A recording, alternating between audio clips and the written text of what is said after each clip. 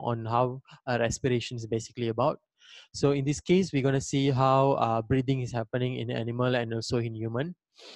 Okay, uh, so we're going to see uh, two type of respiration. Okay, something called the uh, aerobic respiration. Another one is called the anaerobic respiration. So what difference is this? We're just going to see right now. So aerobic respiration and anaerobic respiration. Aerobic respiration is the condition, uh, uh, the process where the oxygen need to be present. And when the oxygen present, aerobic respiration can take place. And in this case, uh, high energy being produced is about 38 molecules are being produced. Anaerobic respiration happen only in the mitochondria, where it's the powerhouse. Comparable to uh, aerobic, we have anaerobic respiration. And in case of anaerobic respiration, there's no oxygen. Okay, and it's mostly take place in the muscles. And in case of yeast uh, fungus, okay, uh, a, unicellular fungus where uh, yeast will produce uh, ethanol as the product. Comparable to aerobic, anaerobic will just going to produce less uh, energy. It's just about two molecules. And this is basically happening in the cytoplasm of the cell. This is happening in the mitochondria cell. So obviously looking to this, we want our body to produce more energy. So we want it to be preferable aerobic. But not all the time we can actually have oxygen around us. In case of a, a sprinter or marathon runner, they have no time to take oxygen quite immediately for the body and at the same time to release all the carbon dioxide and water at the, at that time during the sprinting the body going to switch from aerobic to anaerobic uh, no matter what because oxygen are quite limited to uh, exchange during that time and whatever you have the energy that's how you're going to basically uh, run and finish up the marathon so that's why at the end of the uh, marathon the person have muscle cramps because they have something called uh, lactic acid being produced uh, that cramp the uh, uh, the leg muscles. So further, we're going to talk about breathing, how human are taking in and out the air and what going to take place. First, we're going to see the example of inhalation, air going in. Uh, we have few uh, mechanism taking place and few structure first we have to appreciate okay first we are going to see something called external intercostal muscle intercostal means between the ribs so they are outside, that's why we call external. And we have this bone, this is their backbone. And here we see the small, small uh, structure here, uh, yellowish color, these are your rib cage. And next we have this muscle over here, which is called the diaphragm. So all this structure gonna help you to breathe in and breathe out. And to easier to see, we have something called the uh, balloon uh, model. Okay, uh, we, you can actually if you are in school uh, if you do it in your lab you can do it this model quite easily which uh, each of these part are representing the uh, part I've explained here. So we have the glass tubing here, which is your trachea branching into bronchus. Okay, this is your glass tube. And this jar is your chest cavity. And your balloon is basically the lung. And the rubber sheet is basically equivalent to the diaphragm that we have here. So when you pull down this rubber sheet, basically you're inhaling, the air gonna go in, expand this balloon, and the air is in, the, in the cavity. So this is how the model of inhalation look like. So in real world, uh, in real biological mechanism, uh, the air will actually move in first. Okay, when you move in, you basically can do the mechanism by yourself. Like right, right now, I'll be doing this. So when I'm inhaling it, you can see that rib cage is basically gonna go out, okay, and upward. So it's gonna look outer. So basically air is filling up. Okay, and during this stage, the muscles, okay, the external gonna contract, the outside muscle gonna contract, the internal should be relaxed. Remember, this is your antagonic muscle. One need to contract, one need to relax. So external will contract, so the air can go in. And in this case, this diaphragm previously like a U shape, like a dome shape, will now being pushed to become flattened. And this is contracted right now because of these differences okay the volume increase because air is going in. Uh, normal uh, physics law if the volume increase the pressure should decrease. So volume increase in here the pressure will be decreasing. Because of differences in the atmospheric pressure high outside lower inside the air will be pushed in. So just recap air wanted to go in the rib cage will go upward and outside the muscle of the external intercostal will need to contract. And when it push, this uh, diaphragm going to be flattened. because of the differences in the pressure okay volume will outside is going to be eh, going to be increased the pressure going to decrease and this will cause the uh, air to come inside the lung so this is how it take place and this happen quite quickly comparable if we want to breathe out so that's going to be different um, we can see that in case of exhalation the rib is basically going to move in and inwards. So pushing all the air outside the diaphragm will go into its original shape which is curved. And because the volume is decreasing the pressure will increase pushing all the air out. And finally the uh, the air will gonna go out of this of the lung cavity. Similar to the lung model you just basically need to push the rubber uh, sheet and you can see the balloon contract air go out of the uh, balloon into outside the bell so these are the mechanism of breathing in, exhalation and inhalation uh, we are seeing. So remember there are few structures and you need to know each structure, how they are gonna do each process. Uh, in this case, we are seeing the gas exchange. So once you already take the uh, air, so certain material, certain gas will be taken into the cells, certain gas will be released out of the body. So we have the structure of the alveoli, okay? So we have the alveoli here, which is the sacs of the lung. And we have the blood vessels, okay, flowing. We have the red blood cells, and we have the capillaries, very small uh, structure here. So blood will come from a high uh, carbon dioxide. Obviously, these are imagine you have your body cells here. Body will have a lot of carbon dioxide. So when that's why this is in a blue color. When they reach to their capillaries near your alveolus, all the carbon dioxide will diffuse okay uh, from the uh, blood capillary into the alveolus okay and uh, at the same time we are also inhaling all the oxygen oxygen actually going to go into the red blood cells and when they combine they are forming something called oxyhemoglobin where the oxygen are combined with the hemoglobin of the red blood cells and finally uh, these blood are rich in oxygen and now it can go to other part of the body uh, through the uh, heart pumping and basically going to go to um, all the part of the body. So next, this uh, the carbon dioxide and oxygen change happen in the blood capillaries. Um, there are situations we have a lot of all these carbon dioxide and carbon dioxide being actually released that we saw. Uh, it's not as simple as what you see uh, from the previous structure. So body cells here will have the carbon dioxide. Carbon dioxide need to be released out from the body and it's not as simple as that. There are certain uh, mechanism happening here. So let's see. Carbon dioxide first need to pass through the capillaries. Okay this is the yellow color which is the blood capillaries the epithelial cells. First we'll go into the uh, tissue capillaries area which contain the red blood cells so the carbon dioxide will first will be broken down into uh, uh, these two component, which is the carbon dioxide, uh, react with the water into something called the carbonic acid.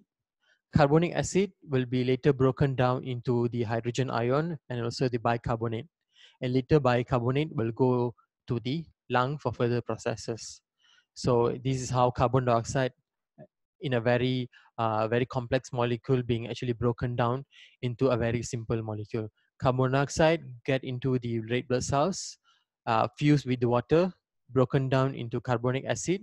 Carbonic acid will be broken down into bicarbonate ion and also hydrogen and bicarbonate ion gonna continue this process. So let's see what happened in the later process. So when it's already been in a carbonic uh, carbon bicarbonic form uh, in a bicarbonic form it's gonna fuse with the hydrogen atom again it's gonna form the carbonic acid with the enzyme carbonic uh, anhydrase, now it's to form a carbon dioxide. So basically to pass through the blood capillaries, it need to be converted into simple molecule.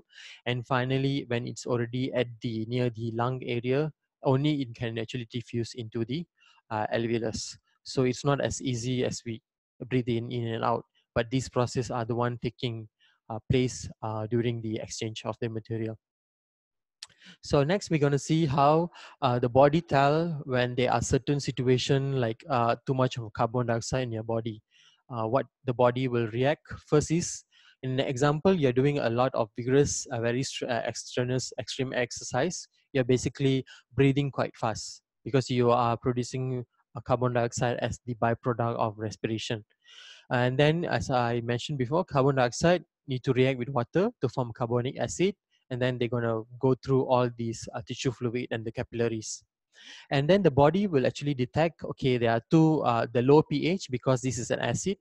Carbonic acid is acidic. Because of the low pH in the blood vessels, in the blood system, it will basically tell the medulla oblongata, which is located in your brain, that they are acids in the blood.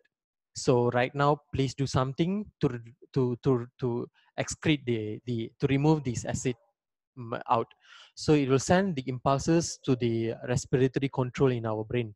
And they will analyze, they will interpret saying that uh, these are the condition, there's acid in the blood, and then send back the nerve impulse to the uh, respiratory tract. So saying that now uh, inhalation need to take place. We need to have a forceful inhalation. So you will start to breathe heavily during this exercise. When you start to breathe heavily, you are going to take more oxygen that going to neutralize all the acids.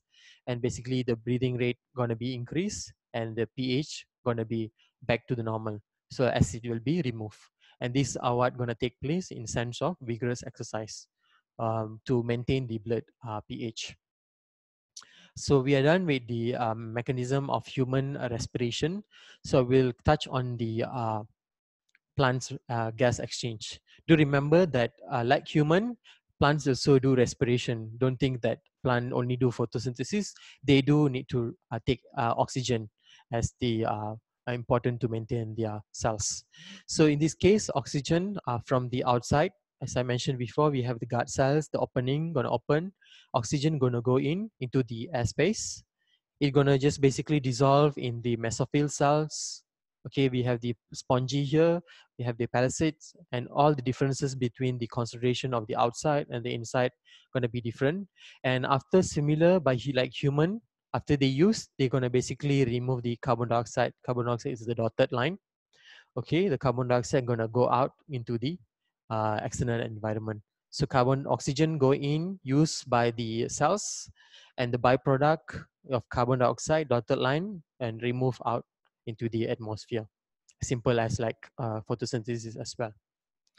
So let's do some recap.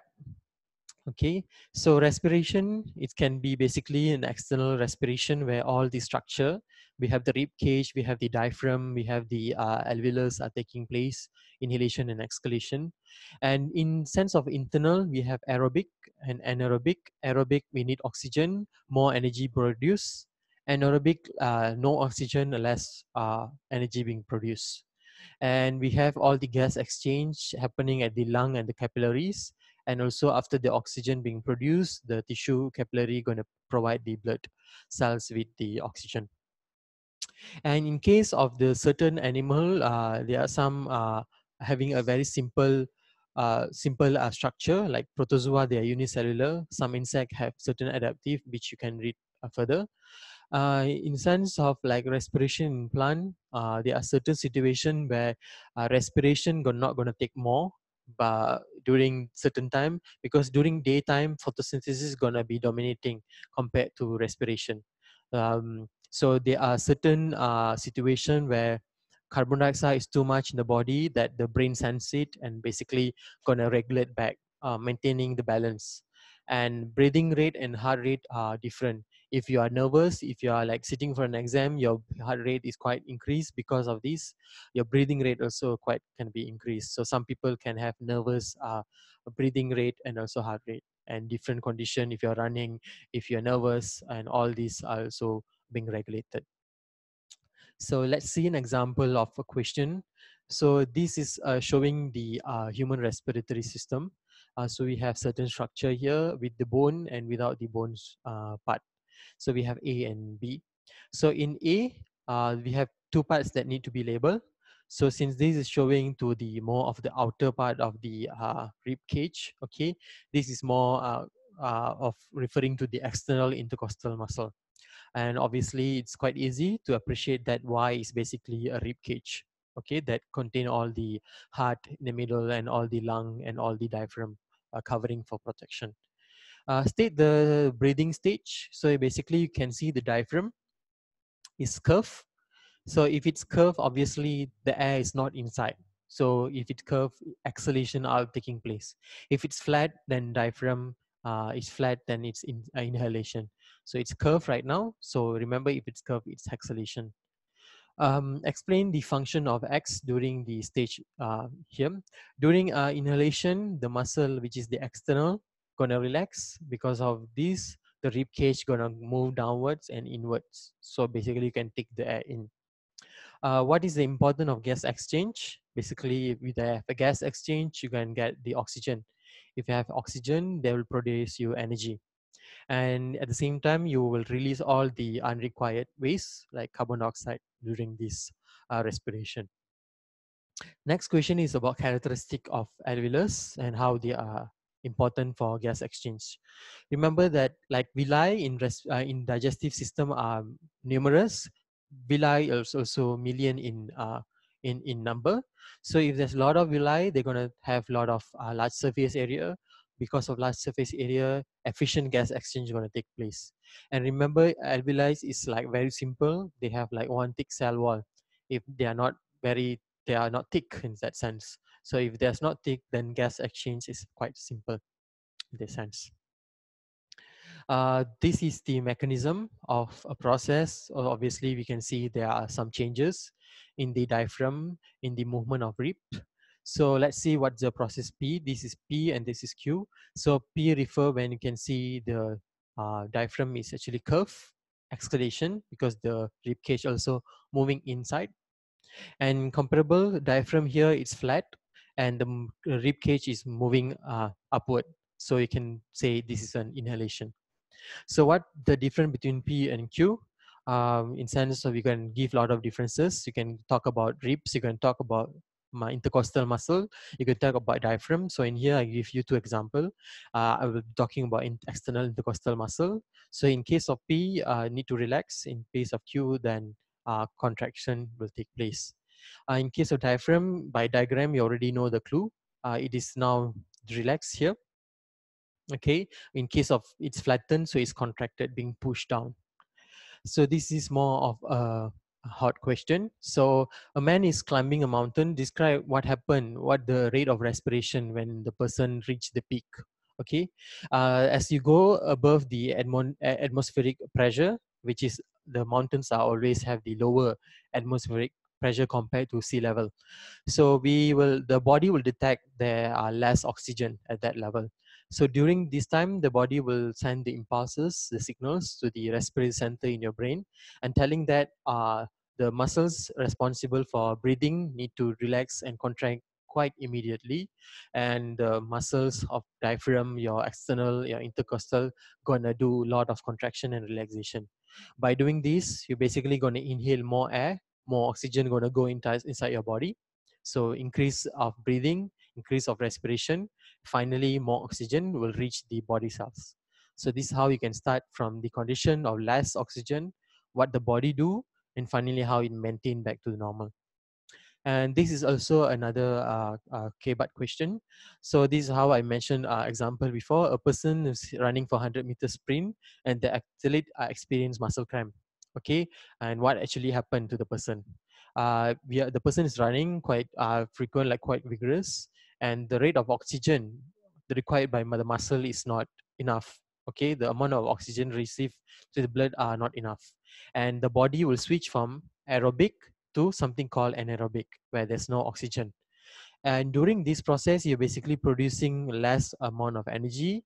You do not have much, much oxygen and you basically being a person who's called to have oxygen debt you're basically getting uh, energy without giving oxygen to the body. And in case the body is like being courtesy enough to produce energy you need to pay back so the oxygen by breathing heavily at the end of the sprint. And during that stage there'll be a lot of accumulation of lactic acid. This is acid and acid in blood is not good so that that's why you will have muscle fatigue and also cramp uh, which you can actually get better by uh, continuous uh, breathing at the end of the race uh, this is how uh, we see the glucose uh, going through certain processes A and B, and each of these will give you a clue what type of process is this. So in case of process A, there's carbon dioxide and there's a lot of molecule of energy. Comparable to process B, we are producing something called lactic acid and less of my energy. So it's very obvious this is aerobic respiration where oxygen is present. B is obviously anaerobic respiration where lactic acid are being produced. So this question B is asking you to write the equation. So if it asks you to write the equation, make sure you put the arrows and all the plus. And this is a word equation. So you start with the glucose. Given the clue in the question, you have lactic acid. So write your lactic acid and 2 ATP. You just basically use the information given in the question to convert it into an equation. Uh, even though the question in the part 3 says that you produce just two, uh, is it still important for the person? Uh, still, I would say it's important because still these two molecule, it's good enough. You have something rather than nothing. So in this case, the small amount of energy still will be helpful to keep the muscle going uh, during the anaerobic respiration. Um, a person who undergo anaerobic respiration, um, if they are carrying it out, they must stop the activity.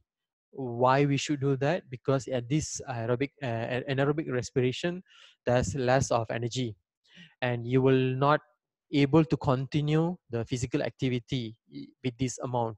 And they already mentioned we have all the acids, and too much of acid in blood uh, is not good, resulting in cramp and also fatigue. Okay, this is about the yeast cell, example of yeast cell.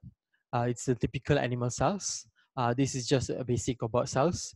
Obviously, this is the nucleus and this is covering it. This is the plasma membrane. This is animal cells. So do not label B as cell wall because cell wall is only in your plant cells. So in this case, uh, they give two condition. If oxygen present, obviously aerobic. Oxygen not there and it's aerobic.